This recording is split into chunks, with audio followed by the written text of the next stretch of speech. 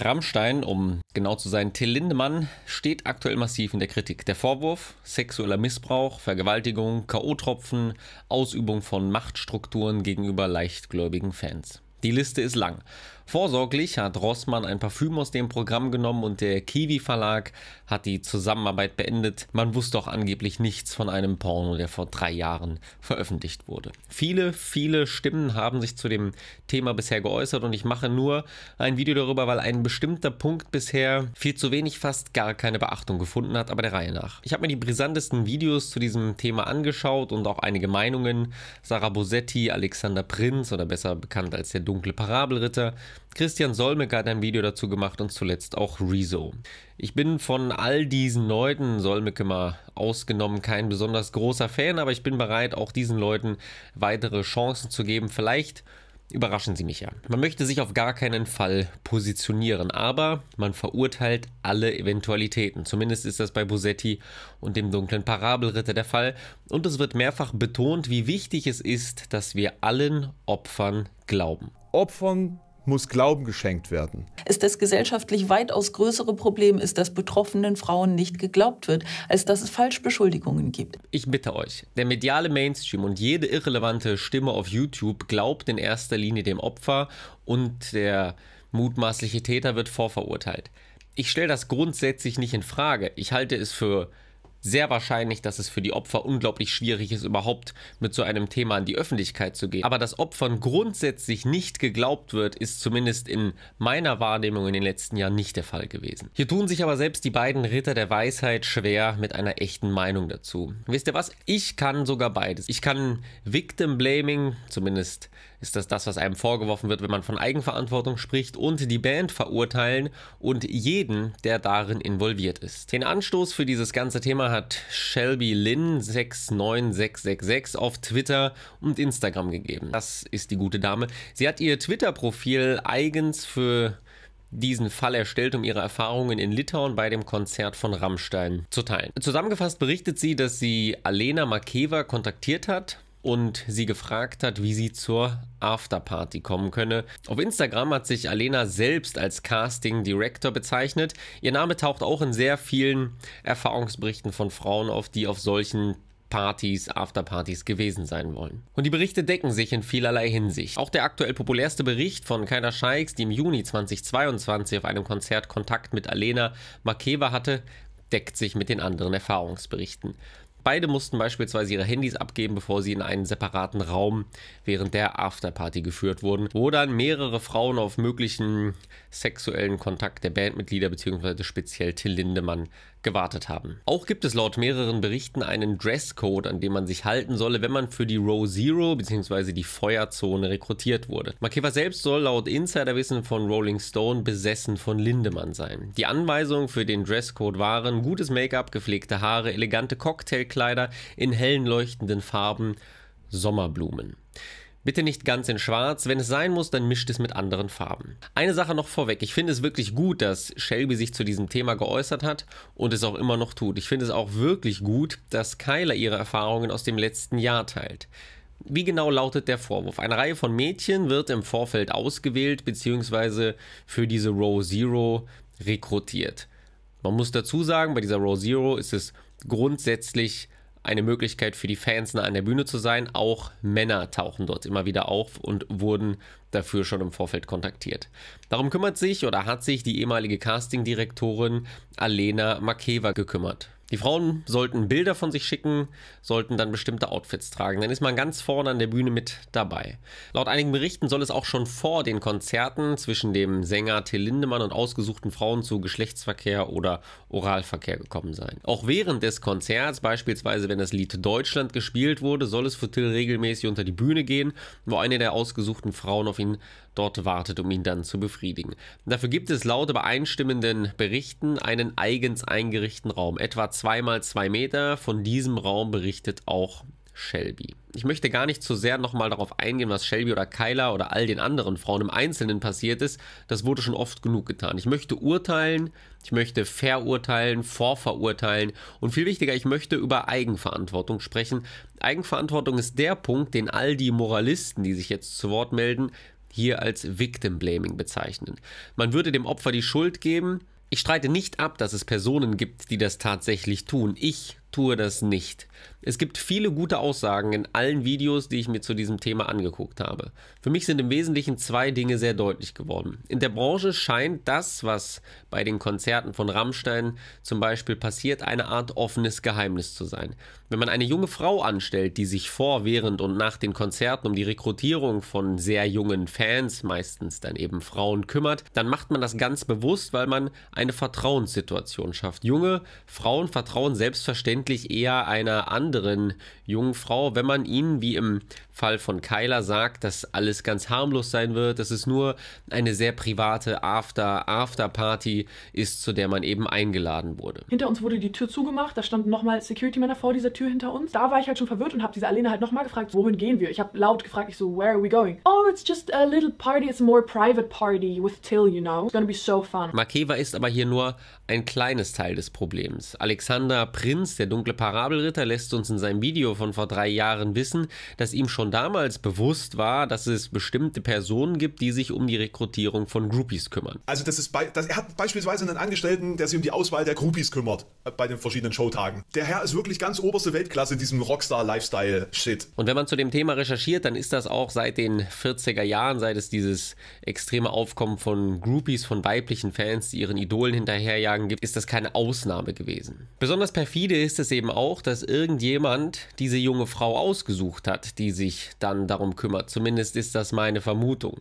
Alena Makeva, die Castingdirektorin von Rammstein, ihr soll ab sofort der Zugang zu Konzerten der Band untersagt worden sein. Ist jetzt möglicherweise nur ein Bauernopfer? Aktuell soll sie sich noch in München aufhalten, aber in Kürze ihre Heimreise nach Russland antreten. Ich bin gespannt, ob man zu dem Schluss kommt, dass sie alleine für viele der Probleme, für viele der Berichte, die geteilt wurden, verantwortlich sein soll, denn dann würde man der Sache definitiv nicht gerecht werden. Über Lindemann selbst wird berichtet, er sei sexsüchtig. Menschen aus der Branche sagen, sagen, dass Lindemann sexsüchtig sei.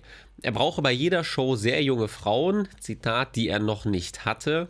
Inzwischen verlasse er sogar während eines Konzerts die Bühne für schnellen Sex, berichten Zeugen aus dem Umfeld der Band. Makeva liefert ihm diese Mädchen. So schreibt es die Welt nach monatelangen Recherchen zu dem Thema. Auch all das deckt sich mit den Erfahrungsberichten.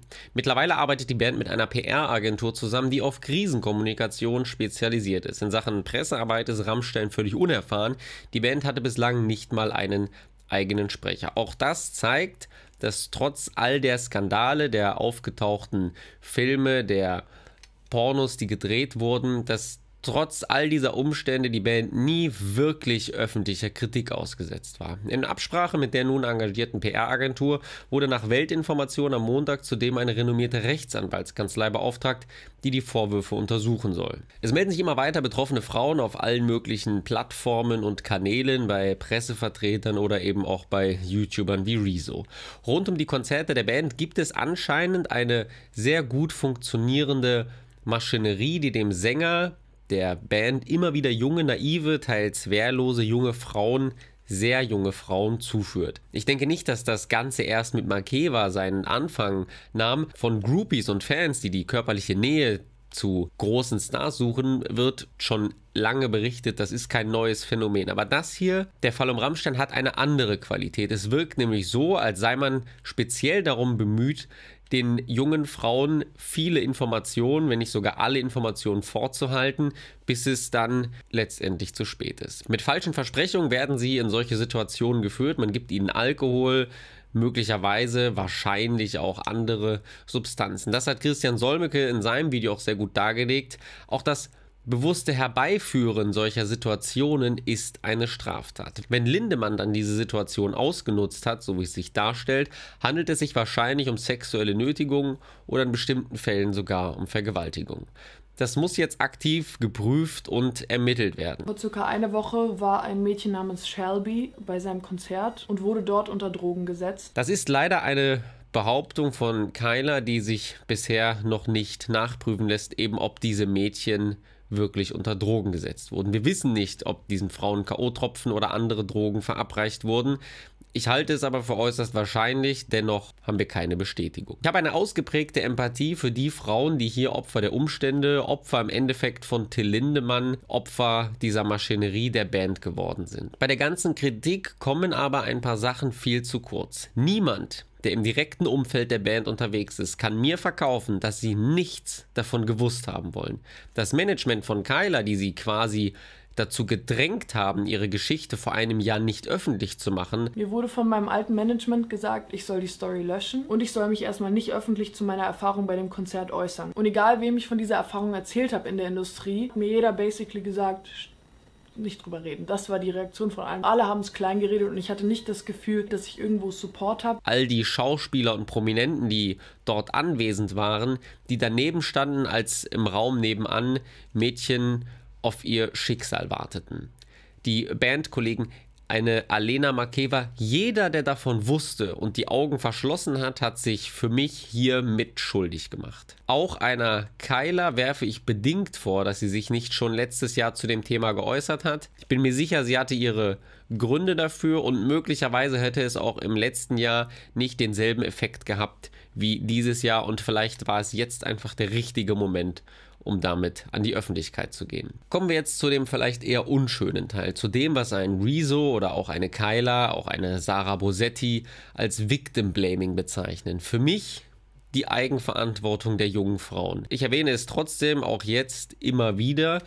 Die Schuld tragen neben Till Lindemann, der dieses System um sich herum aufgebaut hat, all die Menschen, die es jeden Tag zugelassen oder sogar aktiv mitgewirkt haben, die diese Frauen in solche Situationen gebracht haben, tragen eine Mitschuld daran, was ihnen im Endeffekt passiert ist. Rezo sagt, dass Frauen sich überall sicher fühlen sollten, auf Konzerten, eigentlich egal, wo sie sich aufhalten. Einigen wir uns doch stattdessen darauf, dass man als Frau bei einem solchen Konzert backstage überhaupt keine Erwartungen haben muss und überhaupt keine Erwartungen erfüllen muss. Einigen wir uns vielleicht darauf, dass die Frauen an diesem Ort sich genauso sicher in einem Safe Space fühlen sollten, wie überall anders auch. Das ist ein wünschenswerter, ein erstrebenswerter Zustand, in dem sich im Prinzip alle Menschen dann überall sicher fühlen können. Die Realität, in der wir leben, sieht leider anders aus. Und solange die Realität sich nicht mit den Wunschvorstellungen deckt, haben wir hier ein Problem, ein Dilemma. Die Lösungsansätze, die uns präsentiert werden, indem wir allen Opfern glauben sollen, indem wir gleichzeitig niemanden vorverurteilen sollen, das funktioniert übrigens beides gleichzeitig nicht, indem Awareness-Teams auf solchen Veranstaltungen unterwegs sein soll, die dann aufpassen, dass nichts passiert, dass niemandem etwas ins Glas geschüttet wird. Das halte ich für nicht den einzig richtigen Ansatz und für ein wenig naiv. Ich glaube nämlich nicht, dass das solche Probleme, solche Situationen verhindern kann. Das sind Ideen, um solche Probleme vielleicht in Zukunft besser handhaben zu können.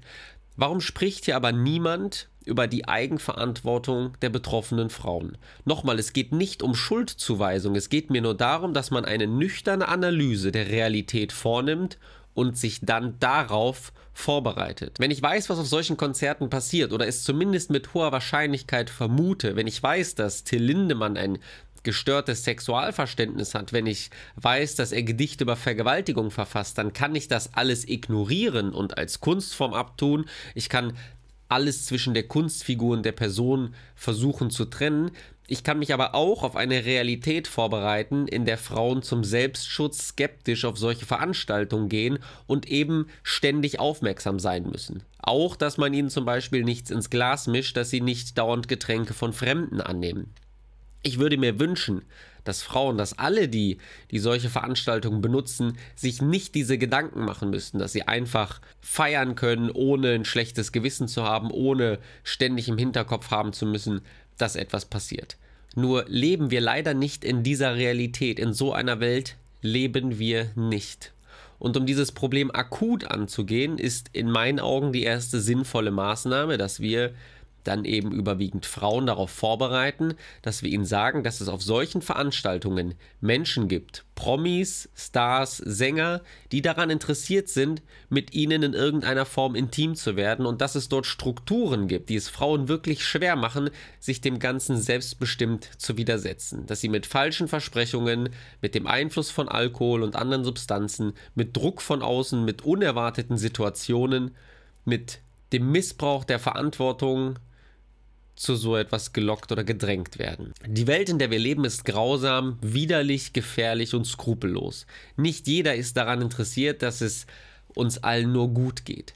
Bitte hört auf, so zu tun, als könne man jegliche Eigenverantwortung einfach ablegen und würde für das eigene Wohlergehen überhaupt keine Verantwortung tragen. Das ist nicht so. Ich wünschte mir, es wäre so, ist es aber nicht. Kyla hat es genau richtig gemacht. Sie ist gegangen, als ihr das alles zu suspekt wurde. Wir müssen selbstbewusste, starke junge Menschen erziehen, die mit einer ausgeprägten Persönlichkeit in solchen Situationen entscheiden können, was richtig und was falsch ist.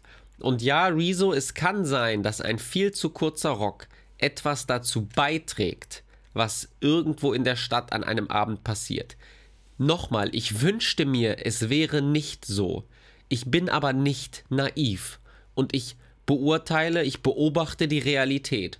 Und wenn es bestimmte Wahrscheinlichkeiten gibt, in denen ich selbstbestimmt etwas dazu beitragen kann, ein Risiko zu minimieren, dass mir etwas Schlimmes zustößt, aus welchem Grund soll ich das dann nicht tun? Aus welchem Grund ermutigt ihr Frauen dazu, nicht eigenverantwortlich zu handeln? Denn das macht ihr in meinen Augen. Das bedeutet nicht, dass ich dem Opfer irgendeine Schuld gebe. Ich spreche einfach nur aus, dass wir in einer grausamen Realität leben.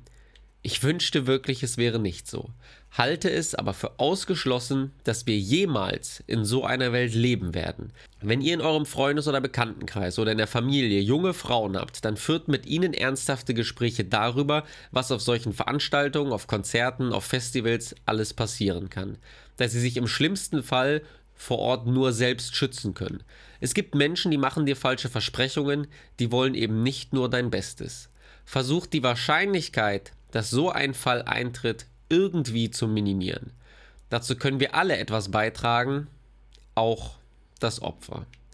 Ich bin mir ganz sicher, dass es jetzt einige wenige da draußen geben wird, vielleicht auch nicht wenige, die mir die Worte im Mund verdrehen wollen und dass es ja nicht sein kann, dass ich irgendjemand anderem als dem Täter eine Verantwortung zuschreibe. Stellt euch selbst die Frage, ob wir wirklich in einer Welt leben, in der man sorglos, ohne Eigenverantwortung durchs Leben schreiten kann. Macht's gut.